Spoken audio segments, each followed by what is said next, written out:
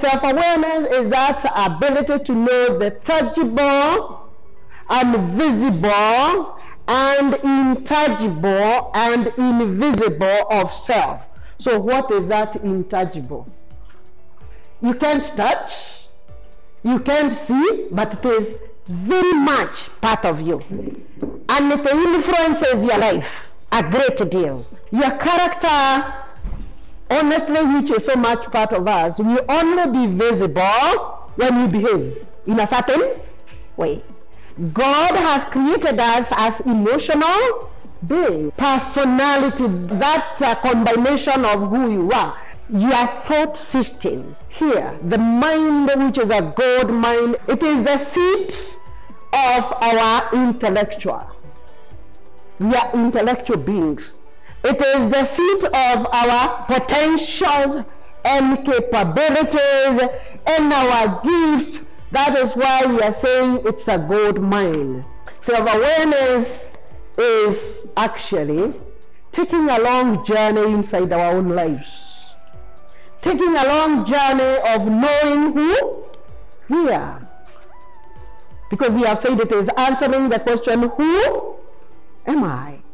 I am a human being, but I have got mental capability.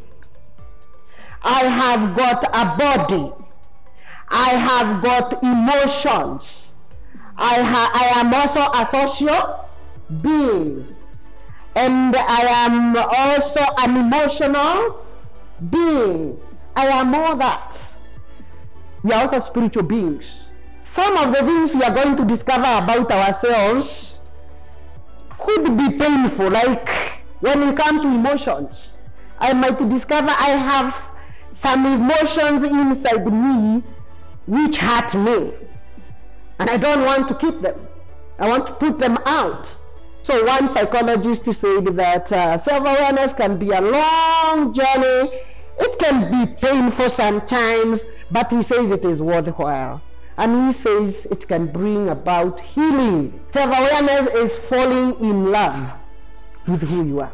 If you don't have sufficient love for your own domestic consumption, don't cheat us that you have any love to export to anybody. The greatest tragedy in life is not death.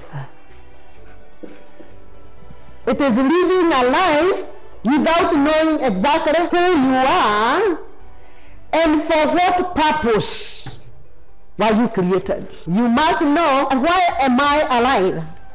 Those potentials and capabilities and gifts that God has put in you. You must know for what. What am I supposed to do with those potentials? Those capabilities. I must know the purpose for which I was created. Self-awareness is self-discovery. Discover who you are. Discover your body. Discover your emotions. Discover your potential. All right? Know the direction you are going in life. Self-awareness will enable everybody to be in charge of your life. Be the custodian. Be in charge of your life.